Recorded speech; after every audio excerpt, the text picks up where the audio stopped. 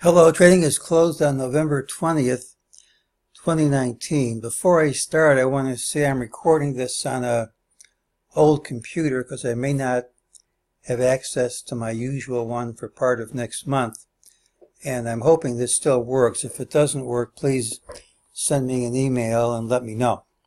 Okay, well, let's go over our calls. we said yesterday's pattern was negative and that all we had to do to get lower prices was to avoid gapping over this high. We did that, and all we had to do to confirm that the top was in was to undercut uh, lows of prior consolidations, and we haven't done that yet. So we still have this as a possible end of wave blue B, but until we undercut some prior lows. We just can't be absolutely confident.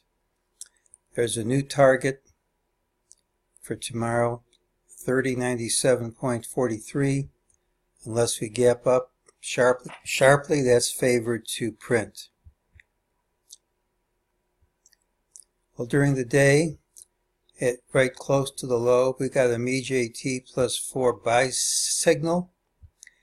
Um, the uh, system identified this drop as false, so it wouldn't stick. It now says this rally's false, won't stick, and gives us this target. Now, people who have read my book know the MeJT plus 4 buy signal um, doesn't work as often as some other signals do. It certainly isn't obligated to give a rally of this magnitude. And as I say in the book, I don't even take the signal unless I plan to move in that direction anyway. So unless you had something else to make you positive on the market, I don't think it would be enough to say I bought the low. But I, I do think it's enough to talk you out of going short around here because there's a good chance higher prices are coming. And it is enough if you are short, to justify putting a stop on the position.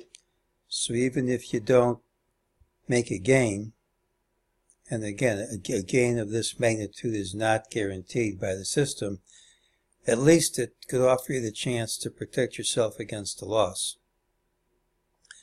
As I've said before, even if you never make a trade with the system your results should improve not because you've taken not because you've gotten more winners, but because your number of losers will drop dramatically.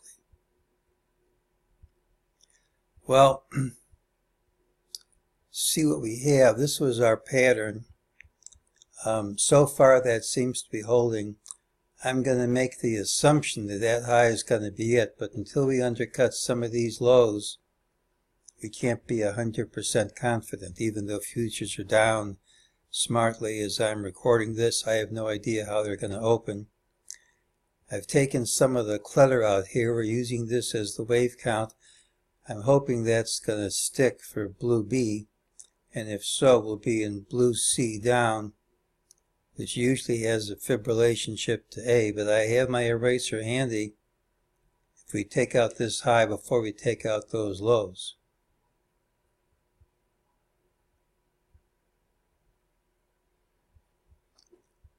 Well, here's, here's the issue for tomorrow. This is a very important trend line. See those lows, this high, this high, all these lows. We dropped right to that trend line, but not through it. When you have a straight line drop to a trend line like this, either you gap under the trend line or the trend line wins. Doesn't mean you won't trade under it, but if you trade under it tomorrow, it won't stick. Um, so if we don't gap under, um, if we don't have a, gap under today's low, um, we're not looking for a sustainable drop tomorrow. If we do gap under it, then that doesn't apply.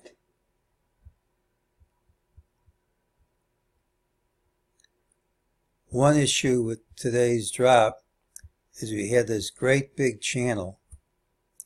We broke it convincingly, and then not only couldn't we hold it, we went over it, retested this as support, rallied, and rallied under the low of this consolidation.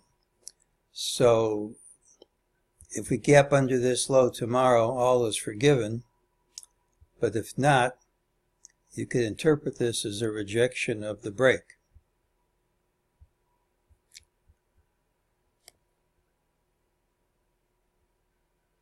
Well, here's what I have.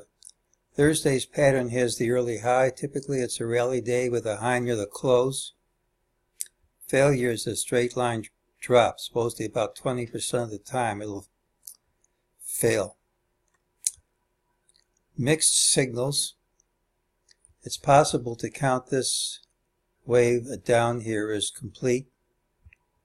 This could be A, there's B, and C is twice A. Now if you could say this is your ABC up and we're going to drop again. It's a reasonable interpretation, but it certainly isn't the only interpretation.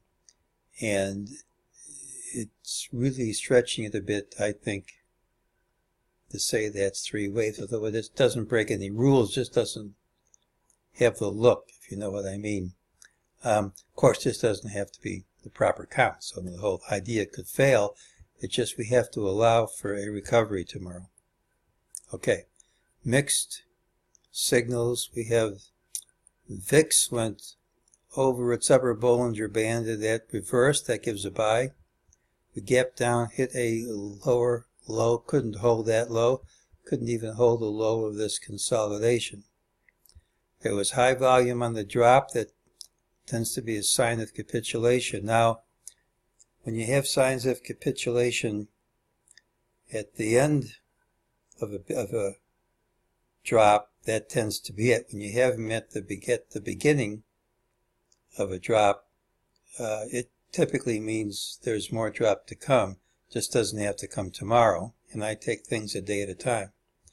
The timing of the stilt down, this here makes it very suspect to me. I don't trust big moves that occur during lunch. I also don't trust big moves that happen because of a news announcement. They tend to, they tend to reverse quickly and completely. It is negative. We have a lower MeJT target. I think we've rejected the all-time high. We did it yesterday and confirmed it by trading lower today. Until we trade under some of these lows here, though, the whole thing can be invalidated by trading over this high. So we have the standard rules, just review them again, of um, mixed signals. Commonest thing is the gap and a fast move outside the day's range, but that's not the only thing. You could also close a little change, have the big move the next day. Um, I'm not much of a guesser, but if I had to guess, I think that's more likely than the top one. You don't usually get big moves two days in a row like this. Wouldn't surprise me if we didn't have much change at tomorrow's close, but who knows. And of course, neither one of those things have, neither one of those things have to happen. Those are just the commonest things. We have a target. If we don't gap up, it's favored to print. It looks like the high's in, but until we go just a bit lower, we don't have all the confirmation we need. And that's today's call.